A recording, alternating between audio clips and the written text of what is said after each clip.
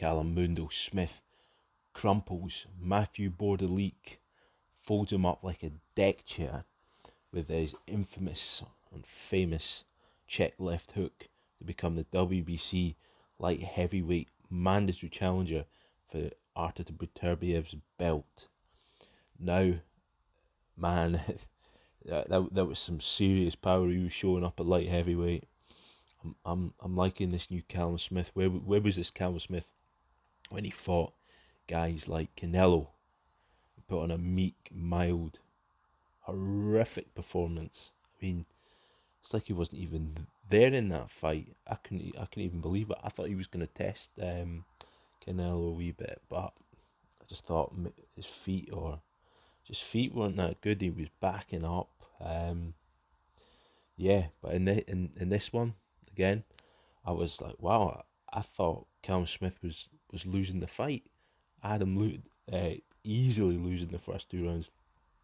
He was getting counted to death uh, with with fast combinations. You know, um,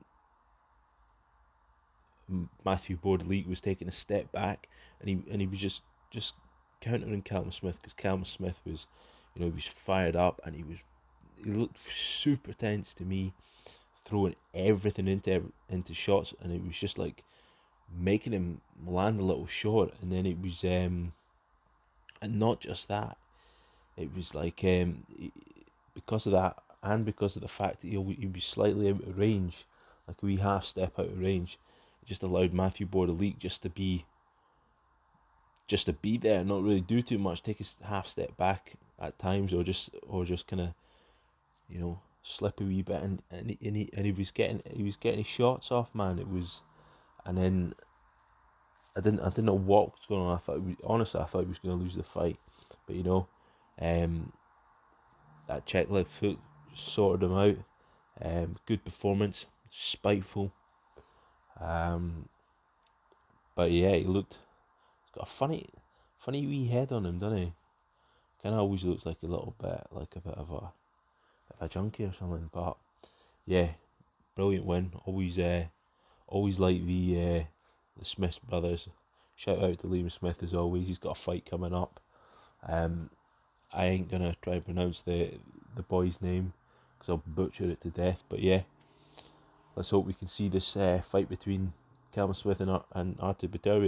Not one that I would be picking Callum Smith in, but um, you know, heard he's heard he's um, heard he's injured at the minute and he's meant to be fighting uh, uh, challenging Anthony Yarde first. So God knows when the but you know when when this fight will come around, but hopefully we'll get to see it next year.